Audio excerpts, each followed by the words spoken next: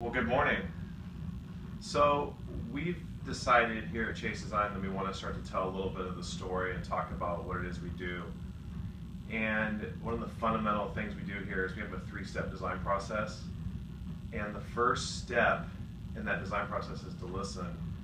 And Ernest Hemingway once said, I, have learned a great deal from listening, and I heard that when I was in college. And I just remember there, I just remember thinking there was so much wisdom in that, and I think it's played a role in, in the way I do things here at Chase Design. So when you're working with a client and they're telling you about their vision or about what they want, some clients have a, a clear vision than others, some don't know what they want, but it's the listening that's so important because when you take that information and you process it through your brain as a creative, um, a lot of the times you're thinking very differently than that client, and there's value in that thinking. And so listening really can bring a lot of that magic into place and give you the results you're looking for. So that's a little bit of a note from us, and uh, we'd like to share that. So thanks for listening.